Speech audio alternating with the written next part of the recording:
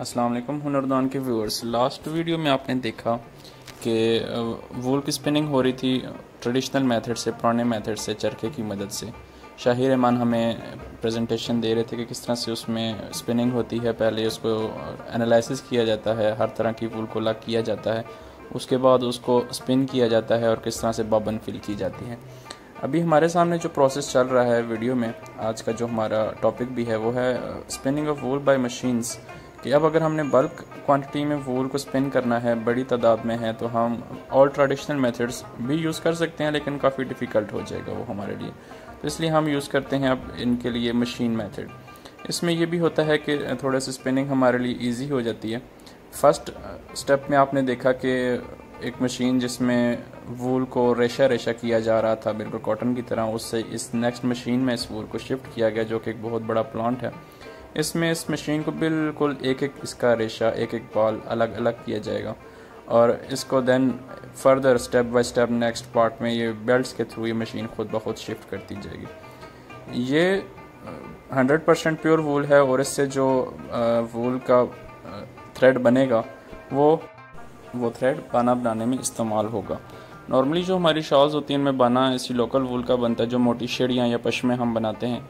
जो उसमें ताना इस्तेमाल होता है, वो इम्पोर्टेड वूल का होता है, बारीक धागा होता है। कुछ शॉल्स इस तरह की भी हैं जिनमें ताना और बाना दोनों ही लोकल वूल की मीन्स यूज़ होता है। तो उससे जो शॉल बनती है, वो ज़्यादा थिक होती है, मोटी होती है, वज़न में ज़्यादा होती है।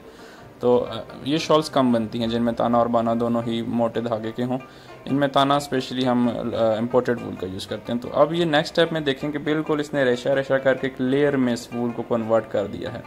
अब ये इस तरह से नीचे बेंडिंग्स होती जा रही है और नेक्स्ट वर्टिकल एक बेल्ट चल रहा है जो उन बेंडिंग्स को आगे चलाएगा। उसको मज़ीद, उस थिन लेयर को थोड़ा सा थिक लेयर में कन्वर्ट करके ऊपर की जानब को ले जा रहा है। नेक्स्ट अब इससे, इस लेयर को बारीक बारीक धागों में कन्वर्ट किया जाएगा विदाउट ट्विस्टिंग अभी इनमें ट्विस्टिंग नहीं आएगी, ये कच्चा धागा इससे बनेगा। इससे जो धागा बनना है, ये भी कच्चा धागा होना है। नेक्स्ट स्टेप में फिर इसी से इसको ट्विस्टिंग कराएँगे हम और इससे हम एक मज़बूत वाला धागा बनाएँगे जो फिर हम नेक्स्ट स्टेप्स में बाने के लिए और फिर शेड़ियों और शालों में इस्तेमाल होगा। इस वूल की भी डिफरेंट क्वालिटीज़ आती हैं। एक तो वो वूल होती है जो कि लैम्प से फ़र्स्ट शेव में उतारी जाती है सेकंड शेव में उतारी जाती है तो वो स्पेशल किस्म की वूल कहलाती है। तो उससे जो हमारी शॉल बनेगी, वो पशम कहलाती है बिल्कुल नरम मुलायम होती है, बहुत ही सॉफ्ट और उतनी ज़्यादा एक्सपेंसिव शॉल होती है। जब next third fourth time lamb की शेव होती है तो उसकी जो फिर वूल आती है, थोड़ी हार्ड थोड़ी हार्ड सी वूल होगी। इससे जो शॉल बनेगी शड़ी कहलाएगी।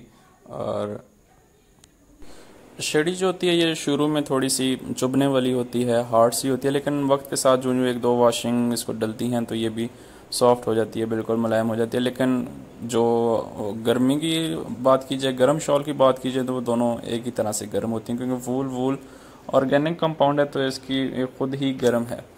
तो अभी आपने देखा कि कच्चा धागा बना रोल्स बने, छोटे छोटे, उन रोल्स को अब मज़ीद ट्विस्टिंग दिलाई जाएँगी, ताकि वो एक बाकायदा धागा बन जाए, एक सख्त धागा बन जाए, जो कि फिर बाना ताना बनाने में इस्तेमाल हो सके। जो पहले छोटे रोल्स बने आपके सामने, ये इनका जो धागा इतना ज़्यादा मज़बूत नहीं है, बिल्कुल टूटने वाला धागा है।